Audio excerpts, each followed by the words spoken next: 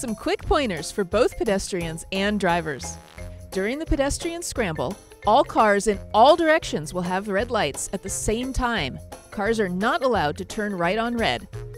Pedestrians, on the other hand, will have the walk signal during this time, allowing them to cross in all directions. During the time cars have green lights, pedestrians will have the red don't walk signal, telling them to take their turn waiting. Pedestrians need to follow the pedestrian signals, not the red and green car signals. And finally, the pedestrian scramble phase will only happen during school commute hours.